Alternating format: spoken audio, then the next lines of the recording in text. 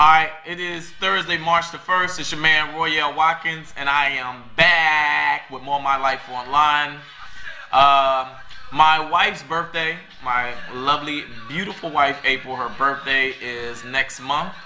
And I have been racking my brain trying to come up with something special for my wife for her birthday. Uh, I'm in between writing gigs. My pockets are, are not fat that, that, that, that.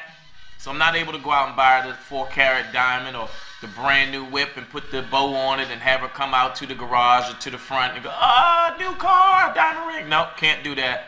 But I put my thinking cap on because I wanted to come up with something unique, something special, something one of a kind. And I think I got it.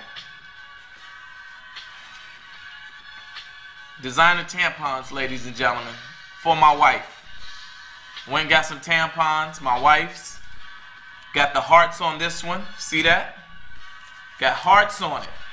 So when she opens this, she'll know that her baby loves her.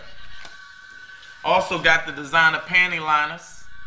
This one has the heart on it. It says, I love you. Because I love my wife, even when she's cramping. Went so far with the designer panty liners. Hit her with the It's a Boy. Because it could have been a boy.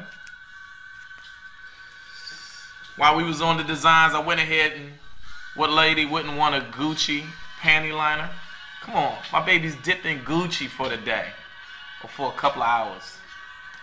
And while I was at it with the Gucci, got my, my baby the Louis Vuitton Don, Louis Vuitton panty liner for my wife for her birthday. I know you jealous, but that's my wife and I love her. Alright, it's your man Royale Watkins. Y'all can let me know what y'all think. Find something special to do for your wife.